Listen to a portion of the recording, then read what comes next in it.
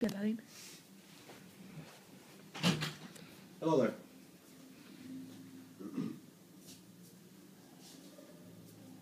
we can put the